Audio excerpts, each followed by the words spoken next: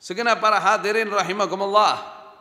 Tidak ada satupun ayat di dalam Al-Quran ataupun hadis yang mengajarkan kepada kita pesimis. Allah dan Rasulnya selalu mengajarkan kepada kita untuk selalu optimis. Kenapa? Karena kita hamba Allah, karena kita umat Rasulullah Muhammad sallallahu alaihi wa alihi wasallam Bagaimana para nabi mengajarkan kepada umatnya untuk selalu optimis karena keyakinannya kepada Allah Azza wa Jalla. Mahma sa'atil akhbar ma dumta mustaqiman la takhaf. Itu yang saya pernah dengar dari Syekh Muhammad Ratib. Syekh Muhammad Ratib, seorang ulama dari negeri Syam mahma sa'atil akhbar ma dumta mustaqiman la takhaf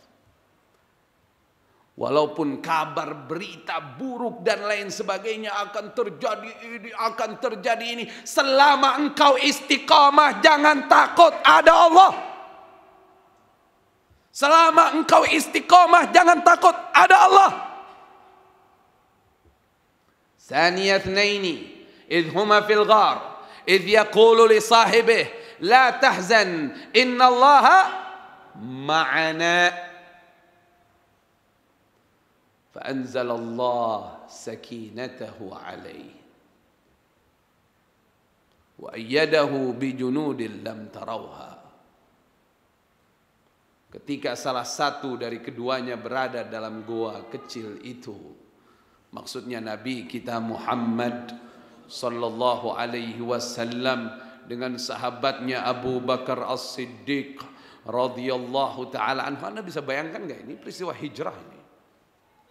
Coba Anda bayangkan itu Rasulullah malam-malam sama Sayyidina Abu Bakar ancamannya pengen dibunuh. Dengan tenangnya Rasul jalan sampai naik ke sampai masuk ke Gar Thur. Gar artinya apa gar? Hah? Goa kecil. Bahasa Arab tuh Goa bahasa Arabnya ada tiga macam itu. Ada gar artinya goa kecil. Kahfun atau al-kahfi itu suratnya. Itu artinya goa ukuran sedang. Kalau goa ukuran besar namanya magar. Itu bahasa Arab. Ghar thur berarti goanya kecil apa besar? Kecil banget. Kecil. Kalau kahfun uh, ukurannya sedang. Kalau maghar besar. Itu bahasa Arab itu. Insya Allah kita dibuat pandai bahasa Arab. Insya Allah. Bahasa Arabnya duit apa? Duit. Wah, boleh, boleh, boleh. Itu, itu boleh. Itu. Luar biasa.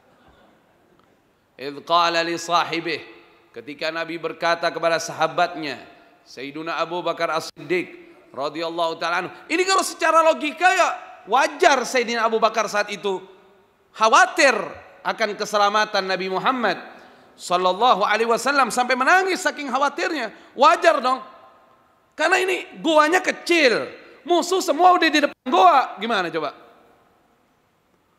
Lihat cara Nabi mengajarkan umatnya sallu ala Nabi Muhammad sallallahu alaihi wasallam la tahzan innallaha ma'ana.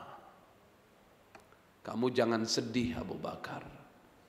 Sesungguhnya Allah bersama kita. Tenang Abu Bakar. Bahkan ditafsirkan sekiranya saat itu Abu Bakar As-Siddiq masih tetap khawatir Abu Bakar ketangkep Rasulullah tidak. Tapi pada saat itu Abu Bakar tenang, betul-betul tenang. Di saat Nabi mengatakan la tahzan innallaha ma'ana. Fa anzalallahu sakinatahu alaihi wa ayyadahu bijunudin lam tarawha. Apa yang didapat sama orang yang zikrullah, yang zikir sama Allah, yang tenang, yang zikir sama Allah, yang yakin pertolongan Allah? Satu, jiwanya diberikan ketenangan oleh Allah. Dua, Allah turunkan bala tentara untuk membantunya, menolongnya. Bahkan bala tentara itu tidak terlihat oleh musuh. Subhanallah. Allahu Akbar, Allahu Akbar, Allahu Akbar, walillahil hamd.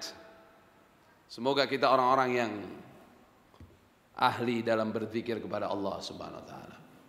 Kayak Nabi Musa, "Kalla inna ma'iya rabbi sayahdin." Tidak akan bisa Firaun mengejar bersama aku Allah. Allah akan memberikan petunjuk kepadaku. Auhayna ila Musa an idrib bi'asaka al-bahr fanfalaqa fakana kullu firkin katawdil azim sadaqallahul azim kami wahyukan Musa ketukkan tongkatmu ke laut terbelahlah laut itu setiap belahannya seperti gunung yang besar jalla jalaluh Banggalah kamu jadi hamba Allah. Banggalah kamu menjadi penyembah Allah. Kuatkan imanmu kepada Allah. Jangan kau jual iman Islammu. Wafatlah kamu dalam keadaan muslim. Allahu Akbar. Cakap para habib. Ajarin deh anak-anak kita tauhid. Ya. Aman ya? Aman udah ya? Hah? Fulus aman nggak? Udah aman deh insya Allah deh.